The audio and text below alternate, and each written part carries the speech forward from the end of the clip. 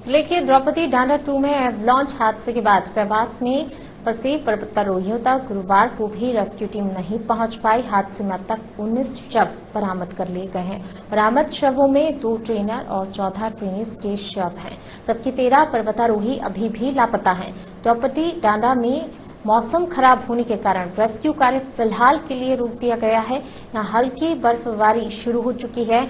सुबह चले रेस्क्यू के दौरान हेलीकॉप्टर की मदद से खोज और बचाव टीम ने अब तक कुल नौ लोगों के शव एडवांस कैब बेस कैंप में पहुँचाए गए हैं। उत्तरकाशी आपातकालीन संचालन केंद्र के मुताबिक बरामद शवों में से केवल दो शवों की शनाख्त ही पाई है, जो निम की महिला प्रशिक्षक हैं। आईटीबीपी पीआरओ विवेक पांडे के मुताबिक ऊंचाई पर बने एडवांस हेलीपेड बचाव कार्य के लिए हेलीकॉप्टर रवाना किए गए हैं। डेड बॉडी बेस पर मौजूद हैं। उनमें से कुछ को आज नीचे लाने की उम्मीद है। आपको बता दें कि भारतीय वायुसेना ने उत्तराखंड हिमस्खलन में फंसे पर्वतारोहियों को बचाने के लिए तड़के अभियान फिर से शुरू किया है। आईएएफ, सेना और एचडब्ल्यूएस टीम के कर्मियों को बचाव के कार्यों के लिए विभिन्न स्थानों पर विशेष उपकरणों के साथ शामिल किया गया है।